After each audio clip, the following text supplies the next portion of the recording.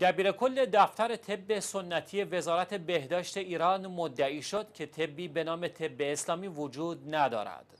محمود خدادوست دبیر کل دفتر طب سنتی وزارت بهداشت ایران مدعی شده است که کارگروهی به مدت سه سال تحقیق نموده و نتیجه تمام این بررسی ها این بود که ما موضوعی به نام طب اسلامی نداریم.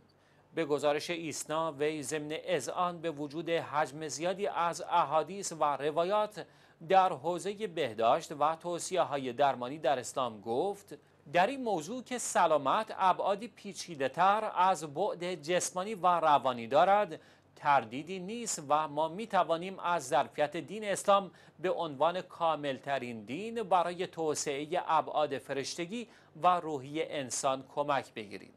این در حالی است که حجم بزرگی از روایات و احادیث برای پیشگیری و درمان بسیاری از بیماری های صعب العلاج در قالب کتاب های شناخته شده مانند